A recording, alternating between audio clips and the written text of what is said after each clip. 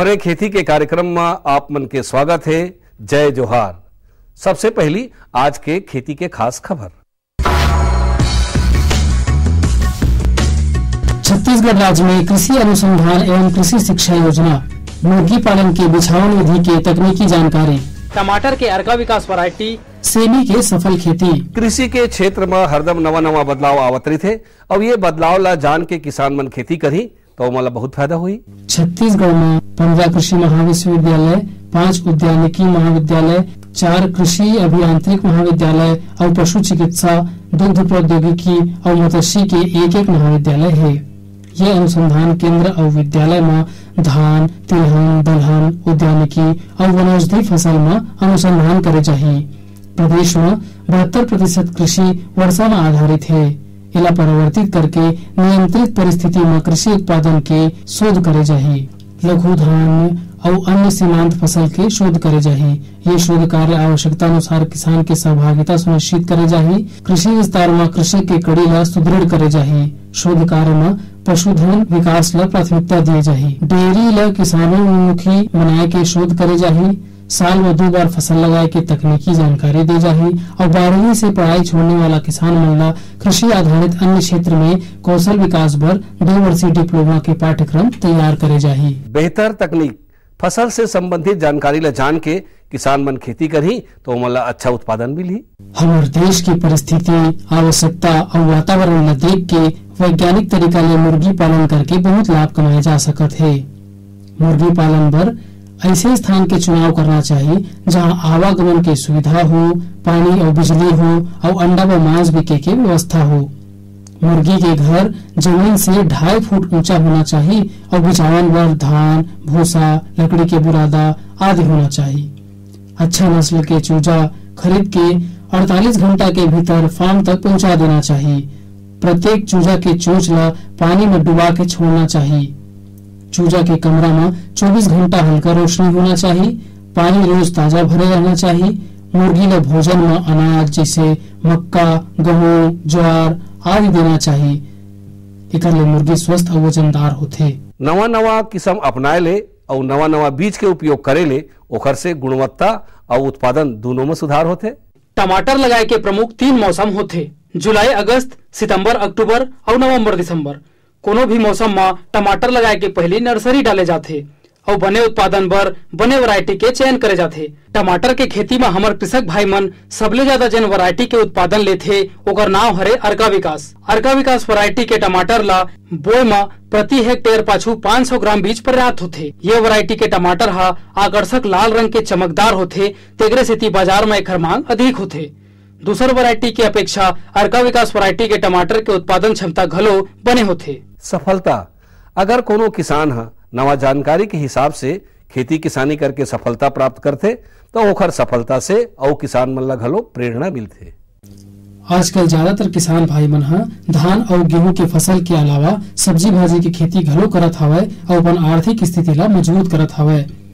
ऐसा ही ग्राम केचुआ के किसान अजय भैया अपन एक एकड़ के खेत में सेमी के सब्ज़ी उन्नत तरीका ले करत हवय जानकारी देवत भैया बताते कि सेमी के खेती में ओला निंदाई, कोड़ाई, सिंचाई, बुआई और खाद पानी के व्यवस्था में लगभग पंद्रह ले बीस हज़ार रूपए के खर्चा आए हवय और ओला अनुमान है कि अपन उत्पादन ला वह बाज़ार में बेच के लगभग चालीस ले पैंतालीस हज़ार रूपए तक की आमदनी प्राप्त कर ली ओकर ये ज़्यादा उत्पादन ला देख के दूसर किसान मन घलो प्रेरणा ले सकत हे, और वो मन उन्नत तरीका ले खेती लगा के अपन आर्थिक स्थिति ला मज़बूत कर सकत हे।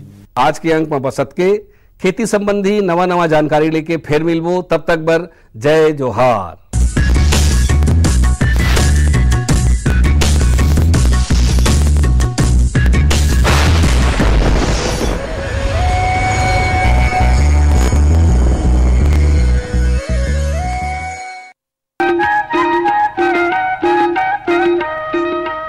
ये लो। और बताओ। बस। अरे ये क्या भैया जी? बस इतनी सी रासायनिक खाद। किसानी छोड़ रहे हो क्या? किसानी नहीं नादानी छोड़ रहे हैं। मिट्टी की जाँच कराई है। अब तो लाला जी जितनी ज़रूरत है उतने ही उर्वरक खेत में डालेंगे हाँ। किसान भाई आज ही अपने ज़िले की नजदीकी भूमि परीक्षण प्रयोगशाला में मिट्टी की जाँच ज़रूर करवाएँ और मिट्टी में पोषक तत्व, नमी व पौधे के विकास को देखते हुए केवल ज़रूरत के अनुसार ही पोषक तत्व डालें। और हाँ मिट्टी में गंधक, जस्ता बोरोन जैसे सूक्ष्म पोषक तत्वों का पता लगाना भी न भूलें। उर्वरक और जैविक खाद के सही उपयोग से भूमि का उपजाऊपन बनाए रखें उत्पादकता बढ़ाएँ, खर्चा घटाएँ और बहुमूल्य विदेशी मुद्रा बचाने में भी सहयोग दें। और हाँ धीमी गति से नाइट्रोजन उपलब्ध कराने वाले उर्वरकों जैसे नी लेपित यूरिया को प्राथमिकता दें और यूरिया का पत्तों पर छिड़काव करें। अरे वाह तू तो सचमुच समझदार हो गया रे। अधिक जानकारी के लिए संपर्क करें। जिला कृषि अधिकारी या किसान कॉल सेंटर। अम्मा खाना दे दो ना। सबर कर गोलू। अभी दाल नहीं गली है। तू फ़िक्र ना कर गोलू की अम्मा। अब की बार अपनी दाल खूब गलेगी। क्या मतलब जी?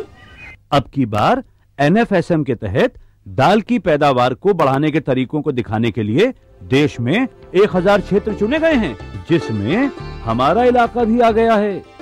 पर इससे हमें क्या फ़ायदा? हमें पाँच एकड़ खेती के लिए खाद और कीटनाशक के अलावा बढ़िया बीजों की एक मिनी किट भी मिलेगी। इतनी दाल का करेंगे क्या जी? अरे भगवान सरकार ने दलहन का समर्थन मूल्य भी खूब बढ़ा दिया है और इनकी खरीद का भी पूरा इंतज़ाम कर लिया है। इससे आमदनी बढ़ेगी और फिर हमारा गोलू अच्छे स्कूल में जाकर के कृषि वैज्ञानिक बनेगा हाँ। क्या करूँ? हाँ हाँ मैं ऐसे ही करूँगा हाँ। अच्छा मैं जा रहा हूँ। अच्छा जी जी जी हाँ। जी जी जी। किससे बात कर रहे थे इतना हंस हंस कर किसान कॉल सेंटर। विशेषज्ञ से खेती के बारे में सलाह ले रहा था। सुबह भी रात को भी? किसान कॉल सेंटर सुबह छह बजे से रात को दस बजे तक खुलता है। रविवार को भी? हाँ भाई साल के तीन सौ पैंसठ दिन खुलता है। और इतना फ़ोन का बिल कौन भरेगा? अरे किसान कॉल सेंटर की सेवा मुफ़्त है। पर तुम ये सब क्यों पूछ रही हो? मैं तो कुछ और ही समझी थी। किसान भाई, कृषि संबंधित समस्याओं का अपनी भाषा में तुरंत समाधान पाने के लिए पूरे भारत में किसी भी फ़ोन से राष्ट्रीय हेल्पलाइन नंबर एक आठ शून्य शून्य एक आठ शून्य एक पाँच पाँच एक पर संपर्क करें। किसानों का दोस्त, किसान कॉल सेंटर।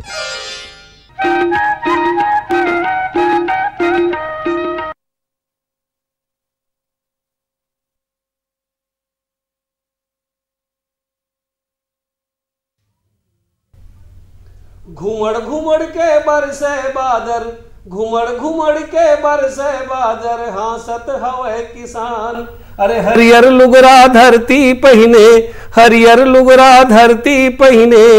अरे छत्तीसगढ़ के शान धान संगी, छत्तीसगढ़ के शान धान। कार्यक्रम के दिखैया, छत्तीसगढ़ के जम्मू किसान भाई बहनी हो तुम्हारे मन के स्वागत है, जय जोहार है। संगियो, तुम अनजाना था कि हर बुधवार के आए, महीना के आखिरी बुधवार के हमर गोट के कार्यक्रम होते और हमर गोट के कार्यक्रम में हमर बीच में अलग अलग जिला से, गाँव से, छत्तीसगढ़ के सब बहुत जन किसान मन आए रहे थे, अपन सवाल लल्ले के संगी हो। और उखर सवाल के जवाब देवर हमारे ये विशेषज्ञ घलो आ रहे थे। तो आज हमारे विभिन्न गाँव ले जो नज़दीक संगवारी आए थे घर मन के तुम्हारे मन के सब जन के स्वागत है, और जय जोहार है। और तुम्हारे मन के सवाल के जवाब देवर हमारे बीच में इंदिरा गांधी कृषि विश्वविद्यालय के विशेषज्ञ श्री एस एस टुटेजा जी और दूसरिया जो कुर्सी में बैठे थे तो मन जानबे करा था छत्तीसगढ़ के खेती किसानी में भारी क्रांति लाए हैं बिमल चावड़ा जी। आप मन के स्वागत है जय जोहार है। संगी हो आज हमन हा हाईब्रिड जो धान होते तेखर बारे में चर्चा करबो। तो हाईब्रिड से संबंधित कोई भी सवाल तुहरो में होही तो तुहू मन सीधा फ़ोन लगा के हमसे बात कर सकत हो। फ़ोन नंबर एक बार तुम्हें बता दो एक आठ शून्य शून्य दो तीन तीन नौ चार एक आठ। तो हाँ संगी हो ये नंबर में तू मन है सवाल आज तुम पूछ सकत हो। अब आज के कार्यक्रम शुरू करते हैं तो संगी आप कहाँ लाए हो कहा जानना चाहते हो? मैं ग्राम बरौदा के निवासी हर पिछले दस साल से धान के खेती करत हो पुराना परंपरा से। अब हाइब्रिड धान के खेती करे के इच्छा है तो ओकर पर विस्तृत जानकारी आप मन से चाहूँगा। देखिए जो हाइब्रिड धान है यदि हम संकर धान कहें तो संकर का सीधा सीधा मतलब होता है कि ज़्यादा उत्पादन देने वाला। संकर धान तो होता है कि वो दो के क्रॉस से बनाया जाता है और जो इसकी उत्पादन क्षमता होती है, बहुत अच्छी होती है। लेकिन इसमें एक विशेष चीज़ का ध्यान रखना पड़ता है कि संकर धान जो है, वो अच्छा कंपनी का अच्छा से बनाया हो, जिस जलवायु के लिए है, वहाँ के लिए अनुशंसित किया गया हो। ये भ्रांति पहले रहती है किसान भाइयों के बीच की, जो संकर धान होते हैं, उसमें बीमारी ज़्यादा आती है, कीट ज़्यादा आते हैं। ये एक मिथ्या है, यदि हम अच्छे ढंग से वैज्ञानिक ढंग से इसे खेती करें तो संकर धान का जो है उसका उत्पादन अच्छा प्राप्त होता है। इसमें नुकसान की कोई संभावना हमको नहीं रहती। जी जी। आप आपका जानना चाहता हूँ? सर मेरा नाम बसंत कुमार साहू है। हाँ। मैं विद्या मंदिर परिषद से आया हूँ।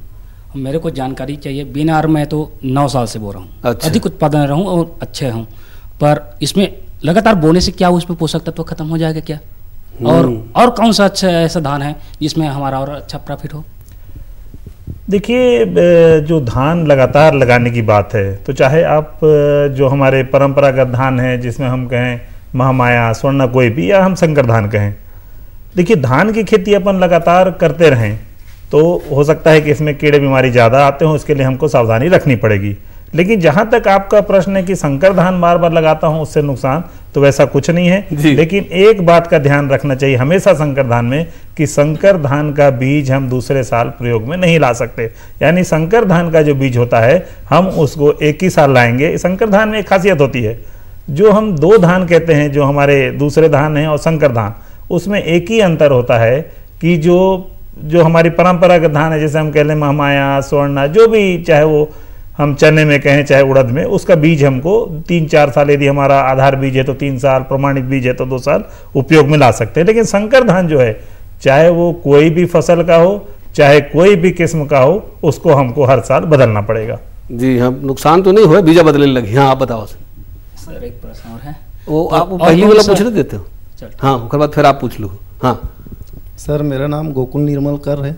जी। ग्राम रवेली से हूँ। मेरा ज़मीन कछारी मिट्टी है, सर। उसमें अपन हाइब्रिड धान अधिक से अधिक उत्पादन करना चाहता निकर बारे में आप जानकारी देखिए, गोकुल जी कछारी मिट्टी, बाकी जो धान आपका लगता है, वैसे ही इसमें भी अपन धान लगा सकते हैं।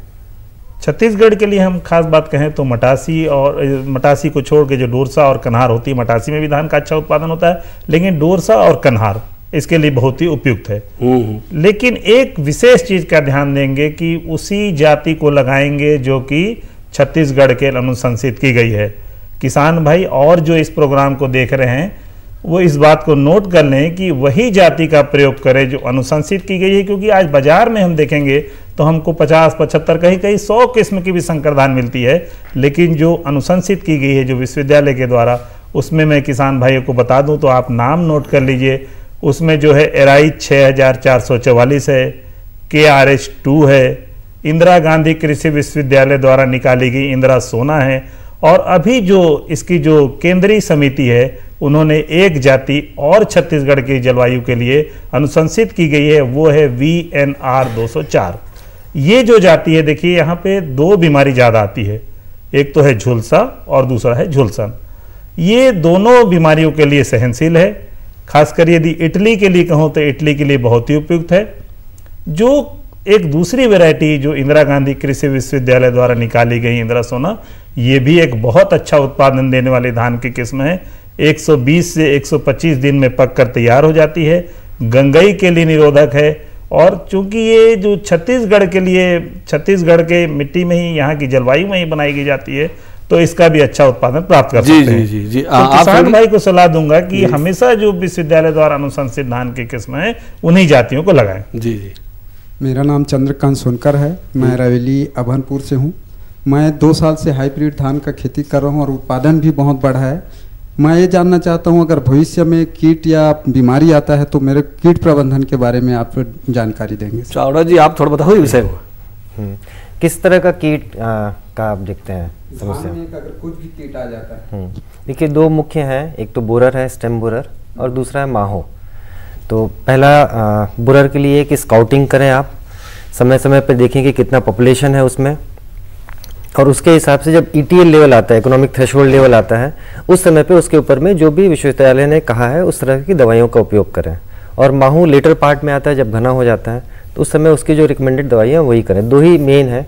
जब ज़्यादा बारिश होती है तो कभी कभी मिज आता है। तो ये दो तीन चीज़ों का अगर ख्याल रखेंगे तो आसानी से किया देखिए, मैं आपको बता दूँ कि कीट के लिए हमेशा हमको समन्वित कीट नियंत्रण विधि अपनानी चाहिए। हाइब्रिड धान में यही होता है, किसान को भ्रांति होती है कि इसमें कीट ज़्यादा आएँगे। यदि हम शुरू से कुछ विशेष सावधानी रखें, जैसा कि ग्रीष्मकालीन जुताई आवश्यक है, करनी चाहिए। दूसरा जो संकर धान है, उसके लिए सबसे अच्छी जो चीज़ है कि यदि हम समय पे उसकी रोपाई कर दें जो 15 जुलाई का समय रहता है 15-20 जुलाई के आसपास रोपाई कर दें तो हम इसमें नियंत्रण पा सकते हैं। जी, जी। इसके अलावा जो है हमको प्रकाश प्रपंच और जो अभी नए अनुसंधान के द्वारा प्राप्त हुआ है कि यदि हम फेरोमेन ट्रैप का उपयोग करें तो जो खासकर जो दो कीट हमारे छत्तीसगढ़ में बहुत ज़्यादा आ रहे हैं एक तो है तना छेदक जिसका प्रकोप लगातार बढ़ रहा हाँ है। दूसरा की माहो इससे दोनों से नियंत्रण। पाने के लिए हमको उपाय करने चाहिए आपका जानना चाहते हैं नाम भगवती प्रसाद वर्मा है जी। मैं बोरिया कला से आया हूँ मैं ये जान हाइब्रिड धान के लिए मैं ये जानना चाहूँ रासायनिक खाद के बदले में गोबर खाद का महत्व एवं प्रति एकड़ कितना डालना चाहिए अरोड़ा जी आप बताओगे डॉक्टर जी जी। देखिए हमको इसमें भी मैं कहूँ कि समन्वित पोषक तत्वों का प्रबंध करना चाहिए यानी हम कुछ मात्रा अकार्बनिक उर्वरक और शेष मात्रा कार्बनिक उर्वरक से देना चाहिए। देखिए धान में हम तीन जैविक उर्वरकों का प्रयोग कर सकते हैं। पहला तो है नील हरित काई इसका प्रयोग हमको करना चाहिए। दूसरा जो मुख्य चीज़ है उसमें हम एस्पोरजिलम और एक फास्फोरक स्पोर घोलक बैक्टीरिया आता है, इसको प्रयोग करना चाहिए। किसान भाई, जिनके पास गोबर की खाद या वर्मी कंपोस्ट उपलब्ध है, ज़मीन की तैयारी के समय उसको डाल दें। और इसके अलावा धान में खासकर यदि हमारे पास शुरू में पानी की सुविधा उपलब्ध है तो हमको हरी खाद लगानी चाहिए जिसमें सन और डेचा लगा दें और उसके बाद उसको पलटने के बाद उसको हम उसमें एक बाजू करके लगी पूछे देखिए इसकी जो मात्रा होती है जो ज़मीन की जो हम मृदा परीक्षण करते हैं उसके आधार पर होती है। जी, जी। लेकिन हम आठ से दस टन प्रति हेक्टेयर की मात्रा इसमें हमको ज़मीन की हाँ तैयारी संगीत के समय आप क्या देना जानना। चाहता सर मैं राजेंद्र प्रसाद यादव हाँ। रायपुर से। मैं ये जानना चाहता हूँ कि आज हाइब्रिड धान की बात हम कर रहे हैं। ये गाँव का किसान कैसे पहचानेगा कि ये हाइब्रिड है हाइब्रिड का बीज है और ये देसी का बीज है? क्या बेसिक डिफरेंस है? मैं ये जानना चाहता हूँ। हाँ जी चावड़ा जी ओपी धान या जो ओपी धान की हम बात करते हैं तो उसकी किस्म जो रहती है जैसा उसका दाना रहता है वैसे ही जब उसकी फ़सल आप उगाएँगे तो वैसा ही दाना उसका अगले सीज़न में भी आएगा। और आप उसके बीज को देखेंगे तो एक समान दिखेगा आपको। हाइब्रिड के बीज को अगर हम देखें तो ये हाइब्रिड बीज है इसको जब आप लगाएँगे तो ज़रूरी नहीं है कि ऐसा ही दाना आपका अगले सीज़न में आए। क्यों? क्योंकि इसको दो अलग अलग किस्मों को मिला करके बनाया गया है। हाइब्रिडाइजेशन में एक मेल होता है, एक फीमेल होता है। और कई बार आप देखेंगे कि हाइब्रिड बीज और ओपी बीज, जो जब दोनों सामने सामने रखा हुआ है तो ओपी का बीज आपको साफ़ और सुंदर, स्वस्थ एकदम एक तरह का दिखेगा। मगर हाइब्रिड के केस में ऐसा नहीं है। इसमें कुछ आपको खुले हुए, इसके ऊपर का जो हस्क रहता है कभी कभी खुला हुआ दिखता है, कुछ एक इसके अंदर में दाना बड़ा दिखता है। इसका कारण यह है कि जब परागण होता है, परागण होने के बाद में बीज के अंदर में दो भाग होते हैं और इसका जो एंडोस्पर्म होता है, वो भी चूँकि हाइब्रिड होता है, उसका साइज़ अपने मदर्स पेरेंट्स से या तो छोटा हो सकता है या तो बड़ा हो सकता है। इसलिए देखने में कई दफे आप देखेंगे कि हाइब्रिड बीज देखने में उतना सुंदर नहीं दिखता है और कई बार किसान भाई लोग इसमें भ्रमित हो जाते हैं ये जो बीज लेके आए हों इसमें कुछ खुले हुए मुँह के दिख रहे हैं कुछ एक में चावल उभरा हुआ दिख रहा है। तो ये बीज कहीं ऐसा तो नहीं कि ये अच्छे से सफ़ाई नहीं किया गया हुआ ऐसा बिल्कुल नहीं है ये उसका गुण है इसलिए इस तरह से होता है कि कोई कोई खुला हुआ दिखता है। बीज का सबसे अच्छा आपको टेस्ट अगर करना हो तो इसको लेकर के आप जर्मिनेशन में डाल दीजिए। अगर आपके सारे बीज उग रहे हैं, निन्यानवे प्रतिशत बीज उग रहे हैं तो कहीं कोई दिक्कत नहीं है। कई बार ये भी लोग सोचते हैं कि अगर उसका ऊपर का छिलका खुला हुआ है तो ये बीज जमेगा नहीं। ऐसा कतई नहीं है। ऊपर का छिलका अगर निकल भी जाता है तो भी वो चावल जमता है। सिर्फ़ पॉलिश किया हुआ चावल नहीं जमता क्योंकि उसके अंदर से बीज वाला हिस्सा कट जाता है। जी, जी। तो इससे घबराए नहीं किसान भाई। हाइब्रिड हाँ। का बीज किसी भी कंपनी का आप उठा के देखेंगे तो उसमें कुछ प्रतिशत ऐसे होंगे जो खुले हुए रहते हैं और उससे जर्मिनेशन पे या उसके फ़सल पे कोई भी प्रभाव नहीं नहीं पड़ेगी। आप संगी आप लोग बहुत दिन से आप लगावत था आप लोग एक बड़ा अनुभव भलो है। तो थोड़ा एक आधा मिनट के अनुभव बताते हुए आपके बात लो पहली करबे पहले एक छोटे से फ़ोन आया थे पहले ले लेते हैं। हाँ हेलो। शीतल भैया नमस्कार। नमस्कार भाई कौन बोला था? जम्मू बाहर से आया मतलब ऊपर भी लगाना गाना बधाई तुम वाला सब जानना चाहिए जो हाल का हाल भाई। हाँ हाँ बोलो भाई। डॉक्टर साहब मनला भी नमस्कार। जी। पूछो। प्रश्न है जिसे हाइब्रिड के धान लगाना कौन से किस्म का लगाना अच्छा रही जिसमें उत्पादन अच्छा हो एक बारे में जानकारी? हाँ एक बारे में अभी सर बताए घलोरी से। देखिए केवल किस्म के नाम बता दो। देखिए और बाकी जो किसान भाई सुन रहे हैं उसको एक अच्छी तरह से लिख लें क्योंकि संकर धान में तभी फ़ायदा है जबकि हम अनुशंसित जातियों को लगाएँ। तो जो मुख्य मुख्य जो संकर धान यहाँ में अनुशंसित की गई है उसमें छत्तीसगढ़ इंदिरा गांधी कृषि विश्वविद्यालय द्वारा निकाला गया इंदिरा सोना वी एन आर सीट द्वारा निकाला गया वी एन दो सौ चार के आर एच वन एराई छः और पी एच बी इकहत्तर। ये मुख्य मुख्य धान है। इसके अलावा अन्य कई भी धान जो है हमारी राज्य समिति द्वारा केंद्रीय समिति द्वारा अनुशंसित किया गया है। लेकिन ये मुख्य धान है किसान भाई उसी धान को लगाएँगे जो कि यहाँ के क्षेत्र के लिए अनुशंसित किया, किया गया। बोलो उत्तर मिल की सोई संगवारी। हाँ तो आप बताओ आप अनुभव घलाओ है धान की, की मैं श्रीकांत चंद्राकर जी। ग्राम चरमुड़िया क्रोध धमतरी जिला के रहने वाला हूँ। जी जी। हमन हाइब्रिड लगा था तो हमला ये चीज़ के बहुत फ़ायदा मिलीस कि शुरू में बीमारी कम होते काबर डिस्टेंस काफ़ी रहते जी। और दूर दूर लगाए के कारण उनमें माइक्रोन्यूट्रिएंट के भी कमी है कुछ हद तक कम पता चलते हैं। जी और पौधा गुच्छा में रहते तो ये है हार्वेस्टर से हम कटिंग जी। तो वो में भी सुविधा होती जल्दी गिरे नहीं। जी जी मतलब बहुत तो अकन फ़ायदा बहुत अकन फ़ायदा है। आज आज आप क्या जानना चाहते हो सर? से आप मैं ये जानना चाहता हूँ कि श्री पद्धति और सम, ये हाइब्रिड दोनों में अंतर क्या हो सकते हैं? जी। देखिए हाइब्रिड जो है एक अलग चीज़ हो गई और जो विधि है आपने पूछा श्री विधि जैसे कि हम रोपा लगाते हैं बियासी करते हैं खुर्रा करते हैं तो श्री विधि एक लगाने की विधि है। चाहे आप परंपरागत धान लगाएँ चाहे संकर धान लगाएँ दोनों में आप श्री विधि लगा सकते हैं। दोनों में विशेष अंतर ये है संकर धान में इसलिए उपयुक्त मानी जाती थी कि बीज जो होता है काफ़ी महँगा होता है इसमें जो हम श्री विधि लगाते हैं उसमें बीज की मात्रा कम लगती है। तो हम देखते हैं कीमत के चलते संकर धान को खासकर ज़रूर श्री विधि में लगाना चाहिए। इसमें मुख्य जो चार पाँच बातें बता दूँ कि इसको दूर दूर लगाते हैं 25 से 25 सेंटीमीटर में। एक जगह एक ही पौधा लगाया जाता है। नींदा नियंत्रण के लिए इसमें वीडर का प्रयोग किया जाता है। इसकी एक खास चीज़ ये है कि इसमें जल हमेशा भर कर नहीं रखना पड़ता। यानी जल को हम उतना ही भरें जिसमें ज़मीन में नमी बनी रहे दरार न होने पाए तो ये मुख्य बातें श्री की आप आप क्या जानना चाहते थे? मैं श्रीमती महेश्वर पांडे ग्राम चकवे कुरासी। कुछ दिन पहले अखबार में खबर छपे रही से कि शंकर धान कुछ पतला आते जिघर से किसान भाई मल्ला घाटा होते एकर कारण का है। देखिए इसका जो मैं कुछ मुख्य बातें बताऊँ उसके अलावा विमल चावड़ा जी कुछ बातें बताएँगे। देखिए पतला और मोटा धान तो दोनों में होता है। जैसे हम कहें कि महमाया मोटा धान है, यदि हम कर्मा मासूरी को निकालें तो पतला धान है। वैसे ही संकर धान में पतला धान भी होता है, मोटा कई जाति होती है, जो कि मोटे वाली होती है और कई जाति होती है, पतले वाली होती है। और इसका जो मुख्य है जो आप कुछ जानना चाहते हैं, उसके बारे में विमल चावड़ा जी आपको बताएँ। जैसे डॉक्टर साहब ने बताया, वैसे ही जैसे साधारण किस्में हम लगाते हैं, उसमें किसानों के पास में चयन करने के लिए बहुत सारी गुंजाइश होती है कि उसको अपने बाज़ार के हिसाब से पोहा के लिए चाहिए, चावल के लिए चाहिए, इडली के लिए चाहिए, पतला, मोटा, बारीक। उसी तरह से हाइब्रिड में भी आप देखेंगे आज की तारीख में तो जिस तरह से वैज्ञानिक गण इसमें मेहनत कर रहे हैं, इसमें भी सभी तरह के धान आपको उपलब्ध हैं। कोई अगर बासमती टाइप का लगाना चाह रहा है तो उस तरह का भी इसके अंदर में हाइब्रिड धान उपलब्ध है। कोई मोटा लगाना चाह रहा है, उस तरह का भी है। कम से कम अवधि की अगर हम बात करें तो सौ दिनों से लेकर के और ज़्यादा से ज़्यादा डेढ़ सौ दिनों तक के हाइब्रिड आज की तारीख में बाज़ार में उपलब्ध हैं। और आने वाले समय में हाइब्रिड में अगर हमने सामान्यतः ये देखा है कि 10 से लेकर के 20 प्रतिशत तक। उत्पादन इसमें वेराइटीज से अच्छा आता है। तो जब 20 प्रतिशत आप सिर्फ़ एक चीज़ को बदल करके उत्पादन बढ़ा सकते हैं 15 से 20 प्रतिशत उत्पादन बढ़ा सकते हैं एक तकनीक को बदल करके तो ये तकनीक धीरे धीरे फैल रही है और छत्तीसगढ़ में खास करके बड़ी तेज़ी से फैल रही है। जी जी।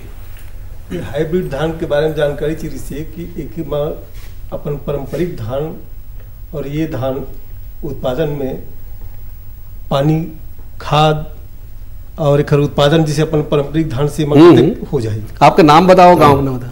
मैं चकवे कोरासी से हूँ संतोष पांडे। जी। अधिकतर लोगों का ये मानना है किसान भाइयों का ये मानना है कि हाइब्रिड अगर है उसका उत्पादन अधिक है तो हमें खाद ज़्यादा डालना हाँ, पड़ेगा हमें दवा ज़्यादा डालनी पड़ेगी ऐसा कुछ भी नहीं है। हम्म। जो सामान्य धान की खेती के लिए अनुशंसा है वही यूनिवर्सिटी की भी अनुशंसा है कि उतना ही खाद आपको हाइब्रिड में देना है। इसका गुण है जेनेटिक गुण है इसके कारण इसका उत्पादन बढ़ जाता है। आपको उतनी ही मात्रा में खाद लगाना है जितनी मात्रा में अपनी किस्मों में खाद लगा रहे हैं। जी हमारे किसान भाई फ़ोन है। हाँ हेलो। हेलो। हाँ नमस्कार भैया। नमस्कार भैया कौन बोला था आप? जी भैया मैं योगेश कुमार जांगड़े सिरवा बांधा बिने तरह हाँ बोला जांगड़े जी कहा पूछना चाहा था? जी भैया मोर सवाल थोड़ा ऐसे है कि अभी कुछ दिन पहले पेपर में छपे रही से कि ये हाइब्रिड के धान है मतलब ज़्यादा फ़ायदा नहीं करत है नुकसान करत है कर। जी जी। जबकि मैं है अपन खेत में उपयोग करे हो ना तो मोला बढ़िया फ़ायदा करत है। तो हम्म मैं जानने यही चाहत रहे भैया कि ये बात में कतेक सच्चाई है ताकि दूसर किसान मन भी एकर से फ़ायदा ले सके। हाँ हाँ बीचे हुई सवाल के जवाब दी समय सर। देखिए जांगड़े जी आपको मैं बता दूँ कि कोई भी चीज़ को यदि हम वैज्ञानिक पद्धति से लगाएँ तो उसमें नुकसान की संभावना नहीं होती। नुकसान तभी हो सकता है कि जबकि संकर धान ठीक से न बना हो। तो आप हमेशा ये देख लें कि अनुशंसित धान को लें विश्वसनीय दुकान से लें और जो पेपर में या कुछ आप जो कहेंगे भ्रांतियाँ हैं यदि हम वैज्ञानिक विधि द्वारा किसी भी चीज़ को लगाएँ तो उसमें नुकसान की संभावना नहीं रहती। जी जी आप आप संगी क्या जानना चाहते हैं। सर मैं हरिंद्र अग्रवाल ग्राम रवेली अभनपुर ब्लॉक से हूँ। सर मैं तीन साल से लगातार हाइब्रिड धान लगा रहा हूँ। मेरे को करीब करीब दस बोरे का फ़ायदा हुआ है चालीस से पैंतालीस बोरे उत्पादन आ रहे है। मैं ये चाहता हूँ कि ऐसा और वैरायटी पैदा करें सर। बताइए सर कि जिससे हमको ज़्यादा से ज़्यादा हाँ, ज़्यादा उत्पादन मिलेगा। हाँ, जी जी। इसके लिए तो सभी यूनिवर्सिटी के वैज्ञानिकगण काम कर रहे हैं कि और कैसे बेहतर वैरायटी हम बना सकें कैसे प्रतिरोधक क्षमता इसके अंदर में ला सकें।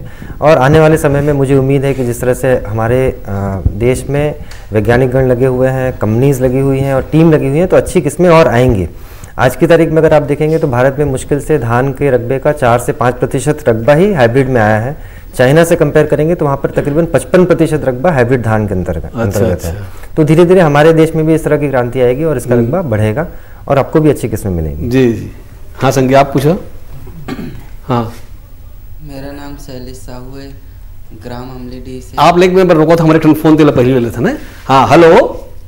शीतल भैया नमस्कार नमस्कार भाई कौन बोला था? दानेन्द्र साहू बोला था भैया हल्का नंबर दो से। अरे वाह वाह बढ़िया। पूछो क्या पूछना चाहते भाई? भैया मैं ये पूछना चाहता हूँ कि जैसे एक एकड़ में मतलब हम हाइब्रिड धान लगाना है तो कतेक से लग जाही और ओकर उत्पादन कितना हुई भैया? एकड़ पाछू नहीं? जी। जी जी। जैसा भी डॉक्टर साहब ने बताया कि हाइब्रिड धान श्री पद्धति या एक एक एक जगह पे एक ही सीडलिंग लगाना होता है। सामान्यतः जो अनुशंसा है वो छः किलो प्रति एकड़ की है। मगर अच्छी तरह से अगर आप नर्सरी का प्रबंधन करते हैं तो कई किसान भाई इसको चार किलो, साढ़े चार किलो, पाँच किलो में भी आसानी से कर पाते हैं। तो एकड़ के पीछे लगभग छः किलो इसमें आप लगाते हैं तो आसानी से हो सकता है। आपको ख्याल ये रखना है कि एक जगह पर एक ही सीडलिंग लगाएँ, और चूँकि हाइब्रिड है तो इसमें शुरू में विगर बहुत अच्छा रहता है और बहुत तेज़ी से अच्छे कन से निकलते हैं इसके अंदर में। तो एक एक पौधा भी लगाने पर आसानी से उसको घेर लेता है। कतेक उत्पादन हो जाए अनुमानित? इसी टाइप की थोड़ा सा पूछे थे एकड़ पाछू। अच्छा सामान्य स्थिति में जो आप किस्म लगा रहे हैं उससे जितने भी हाइब्रिड आज की तारीख में रिलीज़ किए गए हैं पंद्रह से बीस प्रतिशत ज़्यादा उत्पादन देने की क्षमता रखता है। जी जी जी। हाँ संज्ञ आप पूछो। मेरा नाम शैलेश साहू है ग्राम अमलीडी से। हाइब्रिड धान में कौन सा खाद डालते हैं कर जानकारी लेनी। हाँ सर। देखिए सैलन जी मैं बताऊँ कि इस बात को मैं बार बार बोल रहा हूँ कि जो संकर धान है या दूसरा धान है देखिए इसमें जो खाद की मात्रा होती है उसकी अवधि के अनुसार अनुशंसित की जाती है। दूसरी जो मुख्य बात होती है कि हम मृदा परीक्षण कराने के बाद हम इसमें खाद का प्रयोग करते माटी का परीक्षण करना माटी परीक्षण। लेकिन जो। एक सामान्यता है वो हाइब्रिड धान में 100 से 120 किलो सर आप लोग बीच में रोका था एक ठन थोड़ा फ़ोन ले लेते हाँ। हाँ। हेलो हेलो हाँ कौन बोला था भाई? राम। राम राम। राम हाँ भैया मैं ये पूछे वो चाहता हूँ हाँ हाँ पूछो पूछो ना। कि जैसे फरहा लगाती ना अमन तो